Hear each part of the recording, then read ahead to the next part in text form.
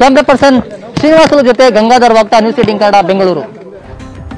ಇನ್ನು ಆರೋಪಿ ನವೀನ್ ಮನೆಯಲ್ಲಿ ಆಗಿದ್ದಾದ್ರೂ ಏನು? ನವೀನ್ ಮನೆಯಲ್ಲಿ ರಾತ್ರಿ ಆಗಿದ್ದೇನು ಅನ್ನೋದ್ರ ವಿಚಾರಕ್ಕೆ ಸಂಬಂಧಪಟ್ಟಂತೆ ಅವರ ತಂದೆ ಮಾತನಾಡಿದ್ದಾರೆ. ನವೀನ್ ತಂದೆ ಪವನ್ ಅವರನ್ನ ಎಕ್ಸ್ಕ್ಲೂಸಿವ್ ಆಗಿ ನ್ಯೂಸ್ ಏಟಿಂಗ್ ಕನ್ನಡ ಮಾತನಾಡ್ತಿದೆ.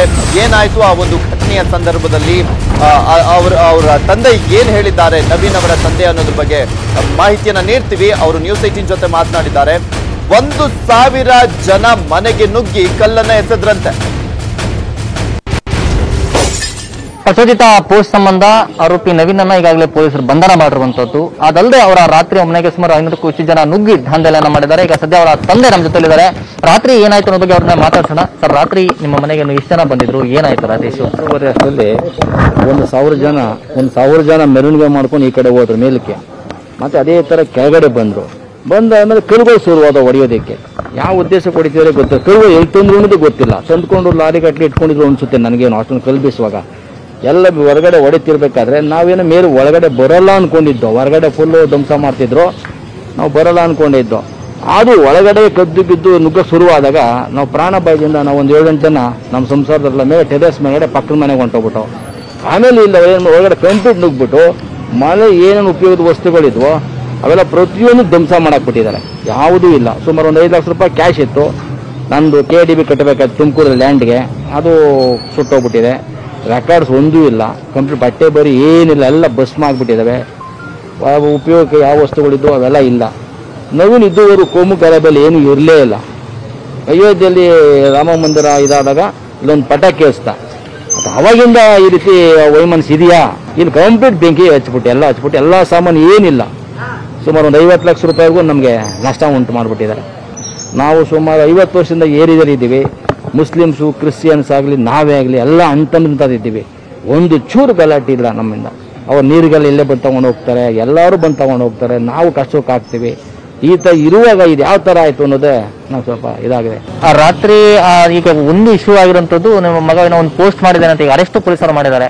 ಈಗ ಅಪ್ಪ ಏನು ಪೋಸ್ಟ್ ಮಾಡಿಲ್ಲ ಯಾರೋ ಬೇರೆಯವ್ರು ಮಾಡಿ ಇವನ್ ಸಿಲುಕಿಸ್ಬೇಕು ಅಂತ ರಾಮ ಅಯೋಧ್ಯೆಗೆ ಯಾವತ್ತು ನಾವು ಪೂ ಗುದ್ರಿ ಪೂಜೆ ಮಾಡಿದ್ವು ಅವತ್ತು ಪಟಾಕಿ ಹಚ್ತಾ ನೋಡಿ ಅವಾಗ ಸ್ವಲ್ಪ ವೈಷಮ್ಯ ಇತ್ತು ಅಂತ ನನಗನಿಸುತ್ತೆ. ಅವನು ಇದುವರೆಗೂ ಯಾವುದೂ ಮಾಡಿಲ್ಲ. ವಾಟ್ಸಪ್ ಆಗಲಿ ಏನು ಮೆಸೇಜ್ ಏನಿಲ್ಲ. ಯಾರೋ ಬೇಕು ಅಂತ ಮಾಡಿ ತ ಸಿಲುಕಿಸಿದಾರೆ ಅವನ್ನ. ಹಾಗಾದ್ರೆ ಹ್ಯಾಕ್ ಆಗಿದೆ ಅಂತ ಹಾಗಾಗಿದೆ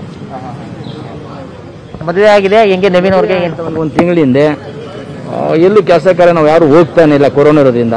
ಎಲ್ಲ ಮನೆಯಲ್ಲೇ ಇದ್ದು ಚೆನ್ನಾಗೇ ಇದ್ದು ಇದಕ್ಕೆ ಸಡನ್ ಆಗಿ ಆಗ್ಬಿಡ್ತಲ್ಲ ನಮ್ಗೆ ಗಾಬರಿ ಆಗೋಯ್ತಲ್ಲ. ಅದು ಕಾರು ಅದು ಸ್ಯಾಂಟ್ರೋ ಕಾರ್ ನಂದೇನೆ. ಅದು ಕಂಪ್ಲೀಟ್ ಸುಟ್ಬಿಟ್ಟಿದ್ದಾರೆ ಒಂದು ಸ್ಕೂಟರ್ ಸುಟ್ಬಿಟ್ಟಿದ್ದಾರೆ. ಅಕ್ಕಪಕ್ಕ ಮನೆಗಳ್ದೆಲ್ಲ ನಾವು ಬಾಡೆ ಕೊಟ್ಟಿದ್ದು. ಅವ್ರಿಗೆಲ್ಲ ಹಾನಿ ಮಾಡಿಬಿಟ್ಟಿದ್ದಾರೆ. ಇವಾಗ ಸಂಪೂರ್ಣ ನಾವು ಮನೇಲಿ ವಾಸ ಮಾಡೋಕ್ಕೆ ಆಗಲಿ ಅಥವಾ ಸಂಸಾರ ನಡೆಸ್ಬೇಕು ಏನೇನೂ ಇಲ್ಲ. ನಾವು ಖಾಲಿ ಮನೆ. ಏನು ವ್ಯವಸ್ಥಿತವಾಗಿ ಎಲ್ಲ ತಗೊಂಬಂದಿದ್ರ? ಕಲ್ಲುಗಳು ಅವೆಲ್ಲ ಕಲ್ಲುಗಳು ವ್ಯವಸ್ಥಿತವಾಗಿ ತಂದಿದ್ರು. ಒಂದು ಏನು ಐನೂರು ಕಲ್ಲು ಬೀಸ್ತಾ ಇದ್ರೆ ಏನು ಅರ್ಥ? ವ್ಯವಸ್ಥೆಯೇ ಇದು. ಏಕ್ದಮ್ ಮಾಡೋಕ್ಕಾಗಲ್ಲ. ಒಂದು ಸಾವಿರ ಜನ ಸೇರಬೇಕಾದ್ರೆ ವ್ಯವಸ್ಥೆನೇ. ಇದು ಸಣ್ಣದು ಇವನು ಮೆಸೇಜ್ ಕಳಿಸ್ತಾ ಅಂದರೆ ಕಾನೂನು ರೀತಿಯಲ್ಲಿ ಕ್ರಮ ತಗೋಬೋದಾಗಿತ್ತು ಒಂದು ವೇಳೆ ಆಗಿದ್ದರೆ ಕಾನೂನಿದೆ ಜೊತೆ ರಾಜಕೀಯ ರಾಜಕಾರಣಿಗಳಿದ್ದಾರೆ. ಅವ್ರು ಗಮನ ತರ್ಬೋದಾಗಿತ್ತು. ಈ ಈ ಥರ ವಿಚಾರಕ್ಕೆ ಅವರು ಸಡನ್ನಾಗಿ ಇದು ಮಾಡೋದು ಅಂದರೆ ಇದು ಹಿನ್ನೆಲೆ ಏನು ಅಂತ ಗೊತ್ತಾಗಿಲ್ಲ ಸರ್. ಒಳಗಡೆ ಬೆಂಕಿ ಇಟ್ಟಿದ್ದಲ್ಲ ಏನು ಪೆಟ್ರೋಲ್ ಗಿಟ್ರೋಲ್ ಎಲ್ಲ ತಗೊಂಡ್ ಒಳಗಡೆ ಎಂಟ್ರಿ ಆದರೆ ಪೆಟ್ರೋಲ್ ಬೆಂಕಿ ಪಂಜುಗಳು ಹಿಡ್ಕೊಂಡ್ ಬಂದಿದ್ರಲ್ಲ. ಆ ಪಂಜುಗಳಿಂದ ಎಲ್ಲ ಕಡೆ ಹಚ್ಬಿಟ್ಟಿದ್ದಾರೆ. ಇವನು ಗ್ಯಾಸ್ ಗ್ಯಾಸ್ ಹಿಡಿಸ್ಬಿಟ್ಟಿದ್ದಾರೆ. ಏನೇನಿಲ್ಲ ಖಾಲಿ ಮನೆ ಆಗಿಬಿಟ್ಟಿದೆ. ಎಲ್ಲ ಆಶ್ಚರ್ಯ. ಅದ್ಯಾವ ಇಷ್ಟೊಂದು ಅವರು ಪೂರ್ವ ನೋಡ್ಕೊಂಡ್ರು ಅನ್ನೋದಕ್ಕೆ ನನಗೆ ಆಶ್ಚರ್ಯ ಆಗ್ತಿದೆ. ಎಸ್, ಇದಿಷ್ಟು ಆರೋಪಿ ನವೀನ್ ಅವರ ತಂದೆಯವರ ಮಾತಾಗಿರುವಂತದ್ದು ಕೆಂಪು ಪರ್ಸನ್ ಶ್ರೀನಿವಾಸಲು ಜೊತೆ Gangadhar ವಾಗ್ತಾ news eighteen Kannada Bengaluru.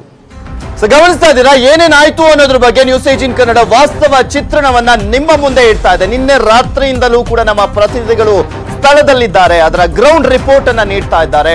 ಎಲ್ಲಿಂದ ಶುರುವಾಯಿತು? ಏನ್ ಕಾರಣ ಆಯ್ತು ಈ ಒಂದು ಘಟನೆ ನಡೀಲಿಕ್ಕೆ? ಅದಾದ್ಮೇಲೆ ಪೊಲೀಸರು ಏನ್ ಮಾಡಿದ್ರು? ಅಲ್ಲಿ ಗಲಭೆಕೋರರು ಯಾವ ರೀತಿಯಾಗಿ ಅವಾಂತರವನ್ನ ಸೃಷ್ಟಿ ಮಾಡೋದ್ರ ಜೊತೆಗೆ ಗಲಭೆಯನ್ನ ಸೃಷ್ಟಿ ಮಾಡಿದ್ರು, ಬೆಂಕಿಯನ್ನ ಹಚ್ಚಿದ್ರು, ಅದರ ಜೊತೆ ಜೊತೆಗೆ ಪೊಲೀಸರಿಗೆ ಏಟಾಯ್ತು. ಅದಾದ್ಮೇಲೆ ಕಮಲ್ ಪಂತ್ ಅವರು ಕೂಡ ನ್ಯೂಸ್ ಏಟೀನ್ ಜೊತೆ ಮಾತನಾಡ್ತಾ ಇದ್ರು, ವಾಸ್ತವದ ಬಗ್ಗೆ ಹೇಳ್ತಾ ಇದ್ರು ಅವರು. ಈಗ ಪರಿಸ್ಥಿತಿ ಹತೋಟಿಗೆ ಬಂದಿದೆ ಅನ್ನೋದನ್ನ ಕೂಡ ನೋಡ್ತಾ ಇದ್ವಿ. ಅಲ್ಲಿ ಪೊಲೀಸ್ ಅಂದ್ರೆ ಆ ಠಾಣೆ ಮೇಲೆ ಯಾವ ರೀತಿಯಾಗಿ ಅಟ್ಯಾಕ್ ಆಯ್ತು?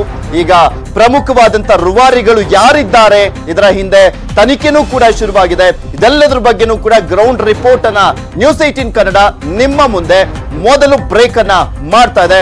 ಮತ್ತಷ್ಟು ಅಪ್ಡೇಟ್ಸ್ ಅನ್ನ ಬ್ರೇಕಿಂಗ್ ನ್ಯೂಸ್ ಗಳನ್ನ ನಿಮ್ಮ ಮುಂದೆ ಇಡ್ತಾ ಹೋಗ್ತೀನಿ. ಆದ್ರೆ ಅದಕ್ಕೂ ಮುಂಚೆ ಒಂದು ಸ್ಮಾಲ್ ಬ್ರೇಕ್